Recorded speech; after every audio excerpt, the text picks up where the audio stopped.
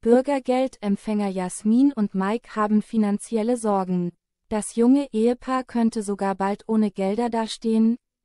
Keine einfachen Zeiten für Harz und Herzlich, Protagonisten Jasmin und Mike. Die Bürgergeldempfänger aus Rostock stehen in den neuen Folgen vor einer einschneidenden Veränderung. Die 20-Jährige muss mit dem gemeinsamen Sohn in ein Mutterkindheim ziehen. Ihr Ehemann Mike wird in der gemeinsamen Wohnung bleiben und Jasmin regelmäßig besuchen. Die räumliche Trennung der beiden hat neben dem emotionalen Teil aber auch finanzielle Auswirkungen. Dem Ehepaar wird nämlich nach dem Auszug der 20-Jährigen das Bürgergeld gekürzt.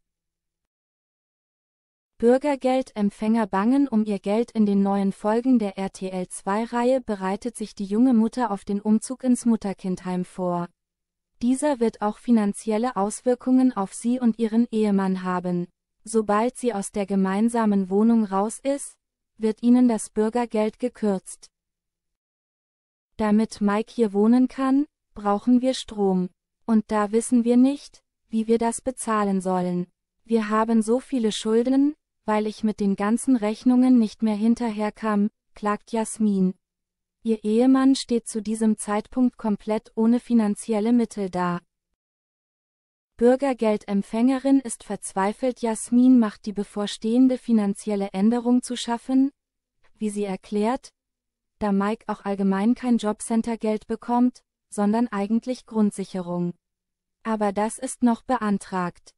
Solange leben wir von mir und Lennox, also Bürgergeld und Kindergeld. Das beides fällt aber bald weg. Finanziell stehen wir dann ohne Gelder da.